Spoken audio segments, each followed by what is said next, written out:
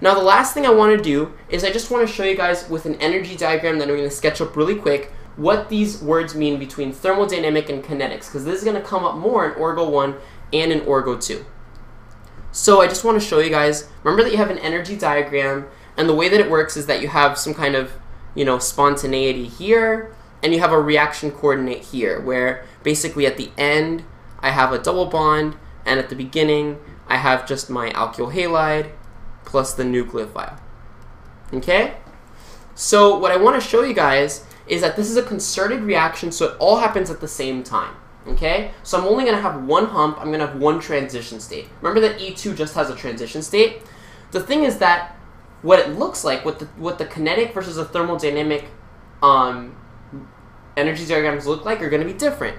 So for the thermodynamic one, I'm going to start up here at this energy level. I'm going to pass through a pretty big, I'm sorry, a pretty big hump, hump in energy.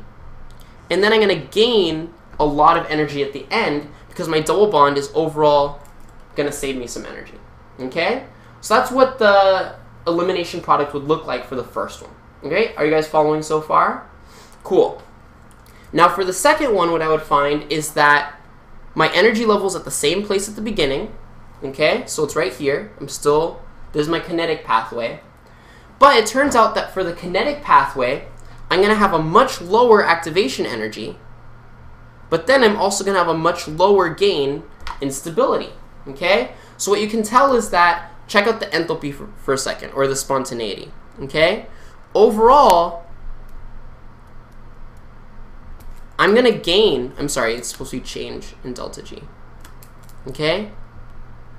Overall, my product for the red for the Zaitsev product is going to be overall more stable at the end. I'm going to gain more delta G, or more free energy, by going in that direction than by going in this direction.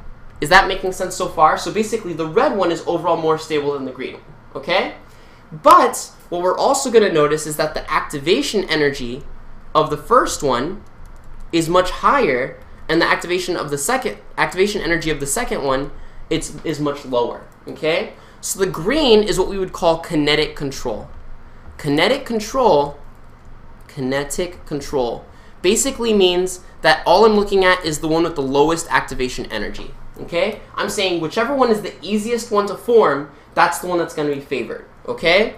Whereas thermodynamic control, I'm just going to put here thermo, is the one that looks at the overall lowest delta G. The one that changes, that that gets the most free energy at the end, that's the most stable at the end, that's going to be the one that I favor, okay? And that's the difference between Zaitsev and Hofmann. Basically, Zaitsev is thermodynamic control, where all I care about is the stability of the end product, okay?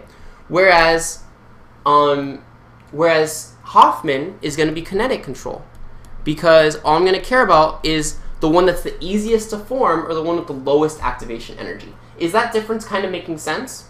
Now, the reason I'm telling you guys this is because this is going to come up later when we talk about other reactions in Orgo 2. There's going to be kinetic control and thermodynamic control, and it's going to be the same kind of principle where I'm looking at either the stability of the end product or I'm looking at whichever one's just the easiest one to form at the beginning.